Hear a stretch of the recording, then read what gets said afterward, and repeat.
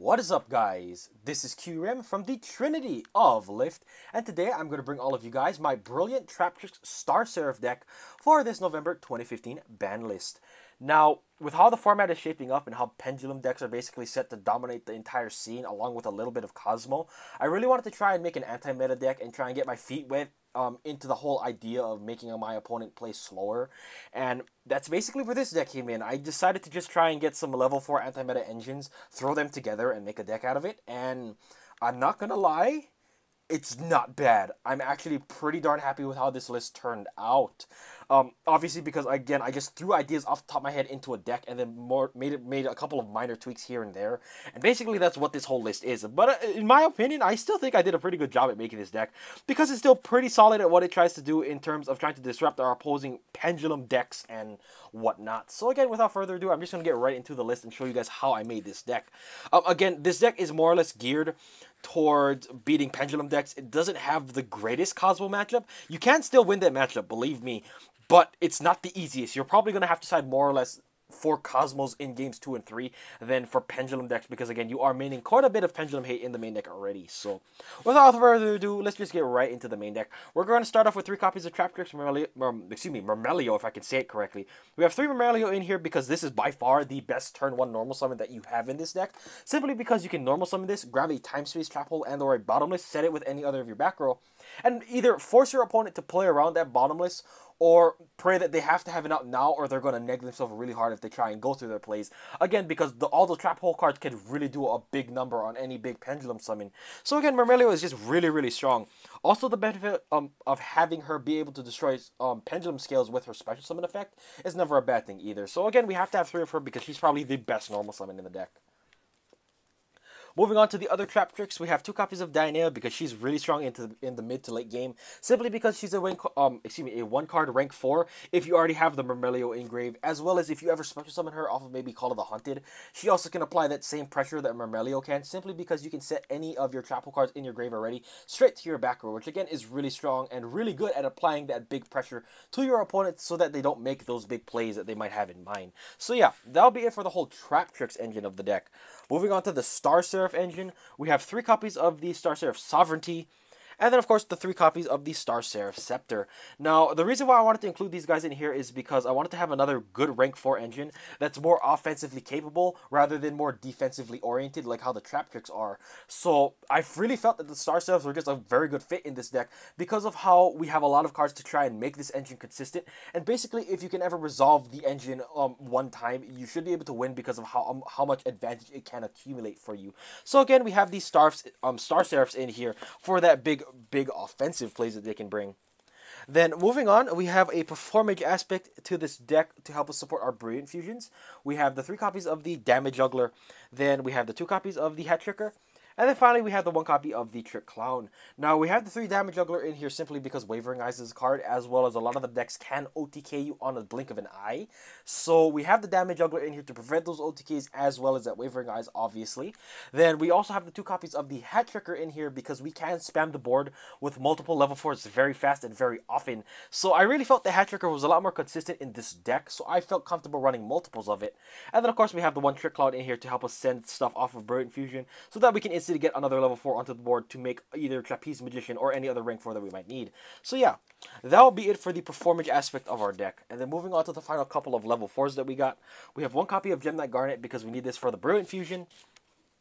We have the one copy of the Thunder King Rai-Oh because if we're trying to make a, um, excuse me, an anti-meta deck, we really need to have this in here because obviously this is probably the best level 4 anti-meta monster we have. And then for the final monster that isn't actually a level 4, we're running one copy of Glow Bulb because this and either any of the Traptrix, your Gem Knight Garnet, or your Performage Hat Tricker makes Nat Beast.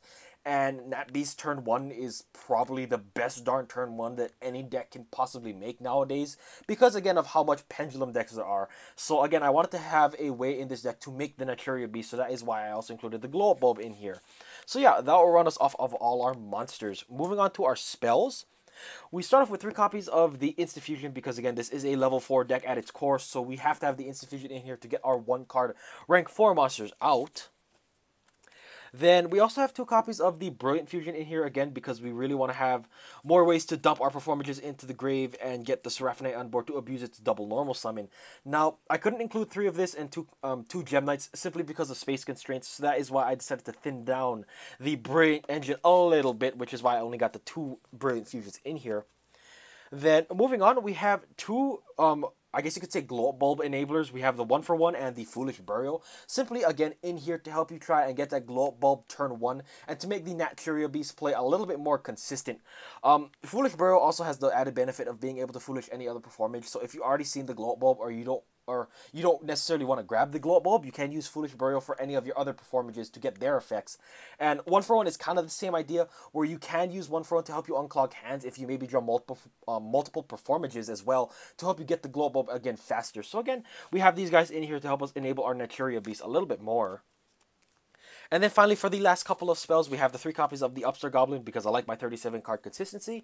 And of course, I have the one copy of Raigeki because board clear. So that will round us off of all our spells. Moving on to our trap cards, we have three copies of Call of the Haunted because we really want to have multiple ways to summon past the normal summon. So again, Call of the Haunted is just really good at helping us spam the board with multiple level 4s. It also helps us keep our Star Seraph engine a little bit more consistent. Then for all of the trap hole cards we do run, we have two copies of the Traptrix Trap Hole Nightmare. We have the one copy of Time Space and the one Bottomless. Again, these are all here to help us get our Myrmeleo searches and whatnot. And in an ideal list, I probably would be running two copies of Time Space Hole, but I do not currently have two copies of it. So that is why I am running the two copies of Trap Trick Hole instead. But again, if you guys have multiple Time Space Holes, I definitely would recommend running two of that and one Trap Trick Hole Nightmare. So that will do it for all of our bottomless and or other Trap Hole cards. And then finally, for the last two traps that we are running, we have one copy of Emptiness and one copy of Solemn Warning because these are the these are the other really solid traps nowadays in this format. So again, we have to have these two again in here to round us off. So that'll be it for the entire 40 card main deck. Moving on to the extra deck, we're going to start off with all of the Star Seraph rank 4s. We have the one copy of Evilswarm Ouroboros, the one copy of Stellarknight Delteros, the one copy of Tellarknight Ptolemaeus, which is actually now $30 now, which is pretty funny. And then, of course, we have the one copy of Constellar Pleiades to round us off of all of our Star Seraph lineup. Again, these are all here just for the Star Seraph engine, and they're all really strong in their own very cool applications. So we have all of these guys. Then moving on to the other cards, just for the other generic rank 4s, we have one copy of Castel because this is good spot removal. We have one copy of Honor Ark to help us get over other monsters, and this plus Emptiness is really good too. We have the one copy of Daigusto Emerald, which I actually got in Duel Terminal Ultra Rare, which is so pretty. We have this in here again to help us recycle some of our choice monsters, like some of the Star Seraphs, as well as our Gem Knight Garnet if we ever use Buried Fusion, so that we can use the Buried Fusion twice. We have the one copy of Diamond Direct just to get another um, good rank 4 for spot removal. We have the one copy of Abyss Dweller for any of those graveyard decks. We have one copy of Gagaga Cowboy because stealing games is fun. And of course, for the final rank 4, we have the one copy of Performage Trapeze Magician because we are running a few choice spellcasters in this deck. So again, having the Trapeze Magician in here to enable OTKs is never bad. So that'll be it for all of the Xyz monsters in our deck. Moving on, we have the one copy of Naturia Beast, again, like I said, because making this turn one is really good. So again, we have to have the Nat Beast in our extra deck.